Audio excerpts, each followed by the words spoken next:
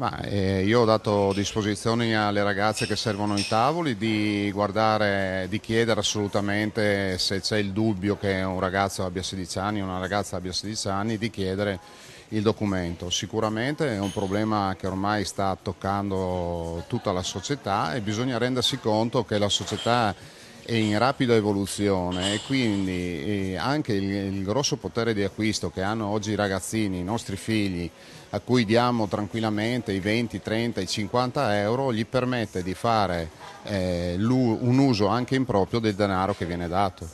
Quindi bisognerebbe un attimino incontrarci con le sfere ad alto livello e capire cosa bisogna fare, non tanto come blocco nei pubblici esercizi e quindi eh, multe, processi e robe varie, ma bensì capire che il problema è un problema sociale, va gestito in una maniera adatta con gente che studia, che capisce i problemi, i problemi dei minorenni, che capisce i problemi dei, dei teenagers e che per sentirsi grandi fanno questo uso sproporzionato dell'alcol. Ieri, un esempio di ieri, una ragazzina che avrà avuto sì no 18 anni, alle 4 del pomeriggio sotto il solleone si è bevuta una vodka.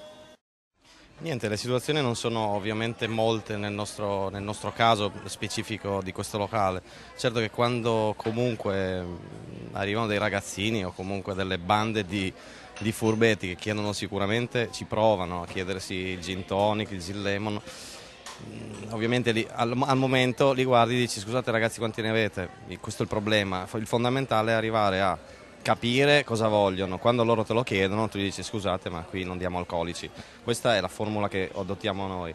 Per quanto riguarda ragazzini di una certa età che potrebbero essere dei diciottenni, ventenni, ovviamente siamo sempre lì lì e non riusciamo neanche noi a capire realmente se, può, se poter, se non poter.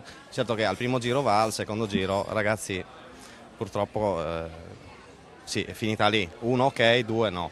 Certo che dall'età da un po' eh, più alta dei 14 anni, perché comunque li vedi, li vedi ragazzini anche alle 3, alle 4 del pomeriggio con, eh, che arrivano e ti chiedono una bibita alcolica, anche un Montenegro per esempio, anche un Amaro, quindi sono cose che probabilmente eh, a monte è il problema di sostanza, secondo me.